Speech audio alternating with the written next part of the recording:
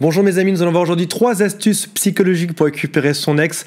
Avant de vous les donner, je voulais juste vous remercier pour cette coupe de cheveux. J'avais dit que je me raserais le crâne pour les 100 000 abonnés, donc c'est un peu grâce à vous si j'ai ce look-là aujourd'hui. Et je vous propose qu'on retrouve tout de suite ces trois astuces totalement inédites juste après le jingle.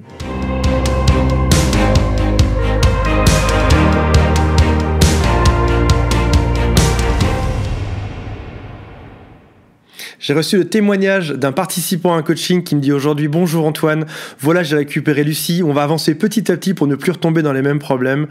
Mais elle me dit qu'elle a eu un déclic la semaine passée quand on a passé du temps ensemble. Merci pour tout, même si j'étais pas facile à gérer lol. Alors c'est vrai que dans les ruptures amoureuses, on n'est pas toujours au top, on n'est pas toujours de bonne humeur, parfois c'est compliqué, c'est pour ça que je vous donne ces astuces aujourd'hui. Je vous rappelle aussi qu'il y a un lien dans la description juste en dessous de cette vidéo pour savoir quelles sont vos chances de récupérer votre ex. C'est un quiz qui est gratuit, qui prend 7 clics pour obtenir le résultat direct. On peut aussi contacter des conseillers par téléphone totalement gratuitement.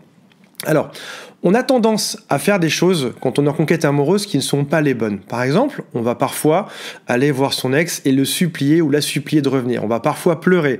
On va parfois aller demander en mariage alors qu'on s'est fait quitter il y a quelques jours. On va parfois vouloir faire des cadeaux. Ça veut dire que notre cerveau nous pousse à faire des choses qui ne sont pas forcément les bonnes. Quand on fait ces choses-là qu'on aura envie de faire instinctivement, notre ex fait un pas en arrière, deux pas en arrière, trois pas en arrière. Donc ça veut dire qu'il faut utiliser ces astuces différemment. Il va falloir qu'on utilise des choses qui sont peut-être contre-intuitives et c'est ça que je vais vous donner aujourd'hui. Première gigantesque erreur qu'on fait généralement quand on est en conquête amoureuse, c'est qu'on essaye de changer le cerveau ou l'esprit de l'autre, sa façon de penser. Alors qu'en fait, ce qu'il faut changer, c'est pas sa façon de penser, c'est son humeur. Si vous vous montrez aujourd'hui de bonne humeur, si vous vous montrez positif, si vous vous montrez avenant, si par exemple votre ex vous cherche des problèmes, ça arrive parfois dans les ruptures amoureuses, votre ex essaye de vous titiller, de vous montrer les problèmes et que vous restez positif, vous allez probablement créer de l'intérêt de la part de votre ex parce que vous allez montrer de bonne humeur.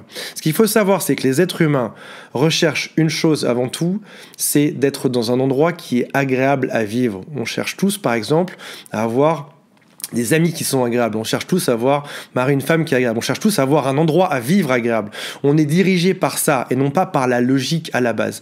Si maintenant vous allez voir votre ex et vous, vous lui dites par la logique, on doit rester ensemble parce que si, parce que ça, parce qu'on a eu des enfants, à cause de la voiture, à cause des projets, le machin ne marche pas. Donc abandonnez la logique et montrez plutôt à la place de ça une humeur. Vous êtes de bonne humeur, vous êtes une personne positive, vous êtes souriant. Si jamais vous avez rendez-vous avec votre ex et que vous n'êtes pas de bonne humeur, re reportez le rendez-vous, décalez-le tout simplement.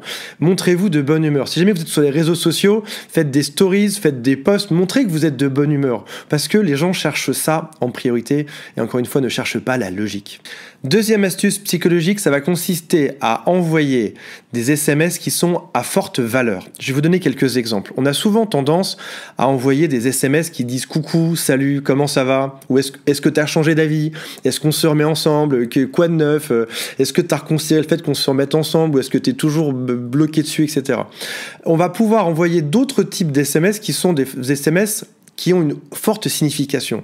Comme par exemple, si jamais vous envoyez le SMS qui dit Comment s'appelait le super restaurant italien dans lequel on a mangé en janvier? Donc là, on envoie un SMS qui pose une question à l'ex. Et l'ex va se demander, si l'endroit est un peu romantique, va se demander pourquoi est-ce qu'on a besoin d'avoir cette adresse-là, pourquoi est-ce qu'on y va, est-ce qu'on y va accompagné ou pas.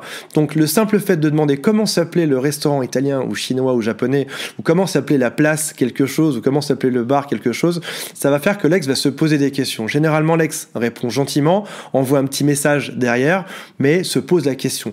Il y a d'autres situations, comme par exemple si vous voyez un film romantique sympa, vous pouvez envoyer un petit SMS du genre Tiens, j'ai vu tel film, je pense au cinéma, je pense qu'il te plaira. Généralement, on va pas seul au cinéma. Donc ça veut dire que votre ex se pose la question de avec qui vous y êtes allé, qu'est-ce que vous avez fait là-bas. Pareil, si vous avez été dans une soirée qui était super sympa, vous pouvez envoyer un petit SMS, tiens, je te recommande de telle soirée qui est vraiment super sympa, j'ai passé un super moment. Dans ce cas-là, votre SMS non seulement montre que vous n'avez pas besoin de votre ex, ça montre aussi que vous vous débrouillez très bien dans, dans votre vie et que vous êtes tellement fair play que vous avez envoyé ce type de conseil à votre ex. Le troisième concept s'appelle le mélange des émotions.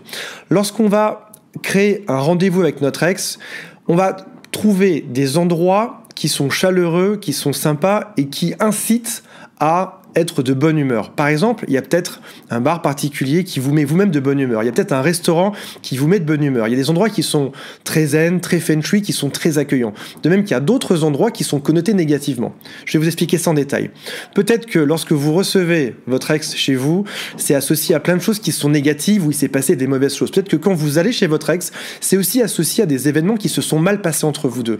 Il y a peut-être aussi des restaurants où vous vous êtes disputés. Mais à l'inverse de tout ça, il existe aussi des endroits qui sont très chaleureux, qui sont très sympas. Et le mélange des émotions consiste à poser son ex en face de soi dans un endroit qui déjà inspire la bonne ambiance. Et il y en a plein autour de vous. Si vous regardez dans Google, vous avez comparé par exemple sur les, sites qui recensent les bars ou les restaurants, vous allez trouver qu'il y a plein d'endroits qui sont chaleureux. Et le fait que vous soyez dans un endroit qui est chaleureux, un endroit où vous êtes à l'aise, va venir tout changer à l'atmosphère et à l'ambiance de votre discussion.